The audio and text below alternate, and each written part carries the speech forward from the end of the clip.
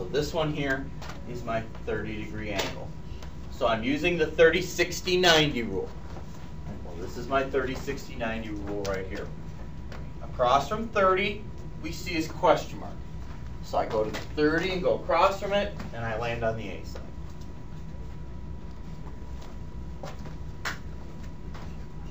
Then I take a peek at 60. Across from 60 is question mark root 3. So I go across from the 60 and I land here, question mark root 3. And then 90, well across from 90 is 2 times question mark. So I go across from this here and I get 2 times question mark. Okay. Again, I don't think this one's too bad either. If I cover up the root 3's here, you can see that question mark is 9. Question mark is 9. Right, so I can fill in the other sides. This side just says question mark. So that's just 9, so A is 9. This side, B, says 2 times question mark. Well, we just said question mark is 9, so that's 2 times 9, or 18. So B is 18.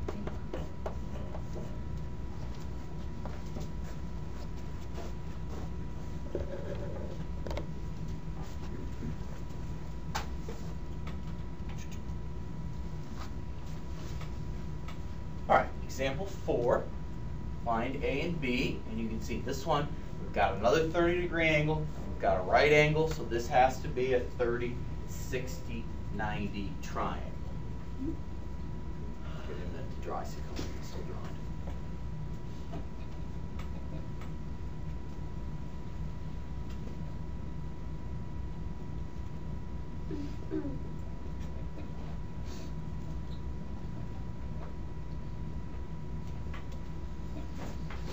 Okay, so obviously I want to label that 60, just so I can keep track. All right, so across from 30 is question mark. So my 30 go across, this side here where B is is question mark. Across from 60, question mark, root 3. Across from 60, question mark, 3. And across from the 90, 2 times question mark, across from 90, 2 times question mark. All right, so you can see that 2 times question mark is the same as 8. Well, that means question mark has to be 4. 2 times 4 is 8. So question mark has to be 4. Okay, so this side, the A side, is question mark root 3 or 4 root 3.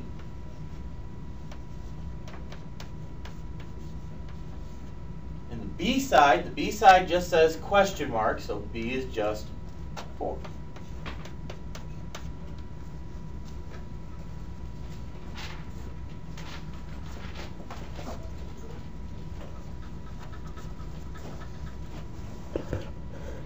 All right, example 5, one more find A and B. This one you can see we've got a 45 and a 90, so the other angle obviously has to be 45 degrees.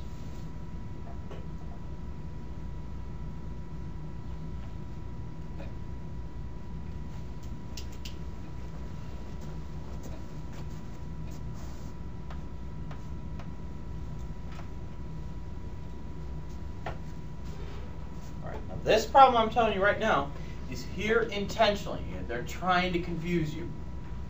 Let's go back over here and take a look. Across from the 45s, each of them should be question mark. So across from 45 is this side here, question mark. Across from this 45 is the A side, question mark. And then across from the 90 side is question mark root 2. So I come across from the 90 and I land on question mark root 2. Now the instinct here is to say, okay, question mark root 2 should be here because that's got root 2 in it. Right? Well, that's not right in this one. Question mark is actually equal to 3 root 2, right, which is a little bit different.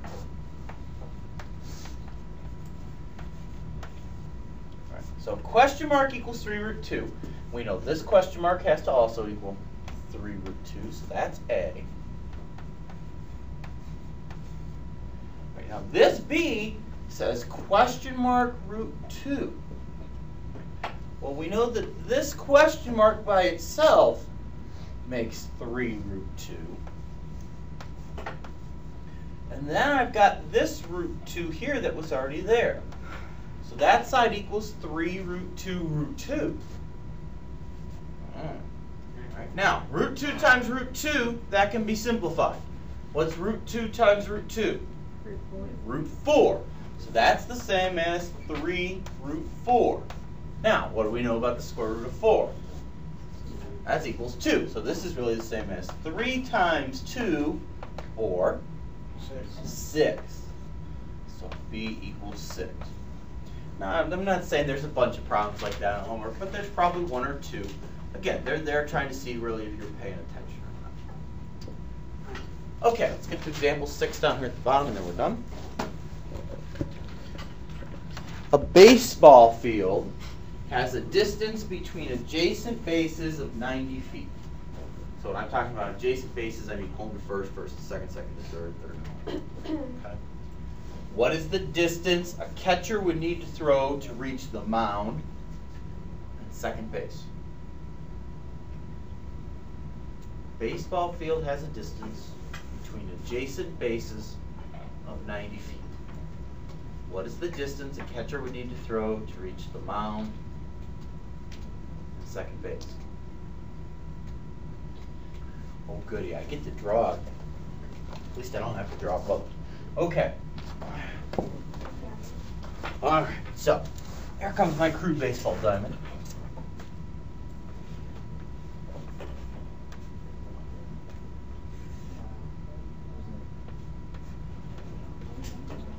Ooh. Well, that's got off. Alright,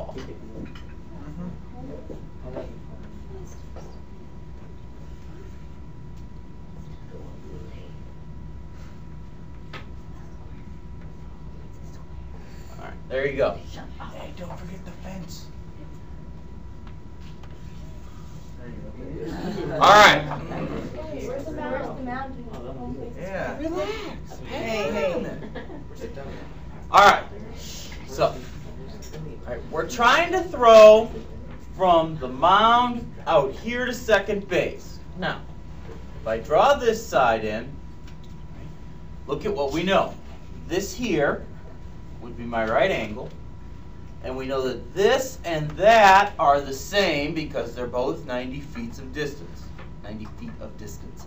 Alright, so two sides the same on a right angle. That means that this is a 45, 45, 90 triangle. Alright, now 45, 45, 90 by rule is question mark, question mark, question mark, root 2. So across from the 45, this side here is question mark. Across from 45 here, this side is question mark. Across from the 90 is question mark root 2. Okay, well, we already know that the distance between here and here and here and here is 90.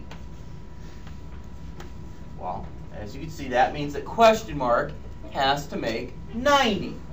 So if this is question mark root 2, then that's what root 2? 90 root 2. All right, and if you wanted to get a number for that, you could do 90 times the square root of 2 and come up with a perfect number, or not perfect number, but a decimal. But you can leave the root 2. Now the mound, well, the mound would be in the middle. Well, 90 root 2, cut it in half. Okay, now this is not something we've done, but it's not difficult. Right? If I cover up the root 2, you've got 90 divided by 2. 90 divided by 2. 45 45 root 2. Ooh, tricky.